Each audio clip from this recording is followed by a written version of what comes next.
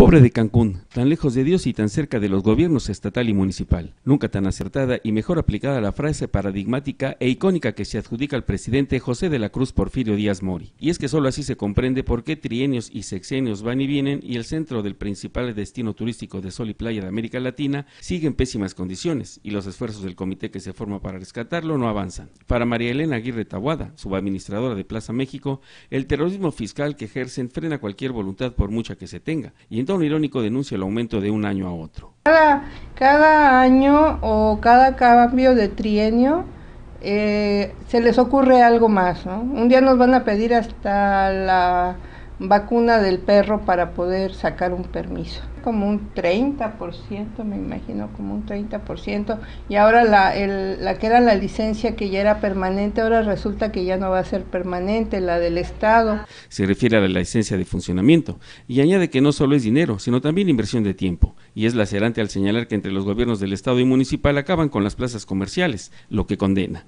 En vez de que den más facilidades y oportunidades para que los empresarios abran sus negocios, el municipio es el primero que está causando que los empresarios no, no quieran rentar.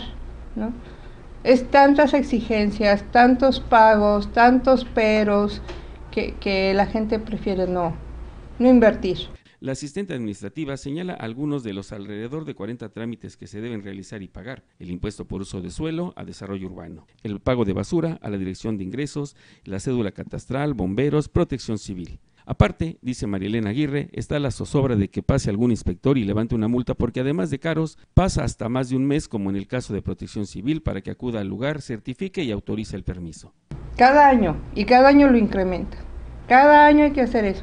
Y ahora, este año la novedad, pues del gobierno del estado, que, que hay que pagar cada año, ¿no? Lo que antes era permanente. Entonces sí, nos quitaron lo de la tenencia, pero ahorita están buscando de dónde sacar más dinero. La subadministradora concluye que no se vale porque exprimen al empresario al no dar facilidades para rentar locales, aumentan impuestos, dificultan el trámite y pregunta que cómo quieren que Cancún se reactive y sobreviva de ese modo. Detrás de la cámara, Jonathan Díaz. En el micrófono, para Notivisión, Carlos Águila Arreola.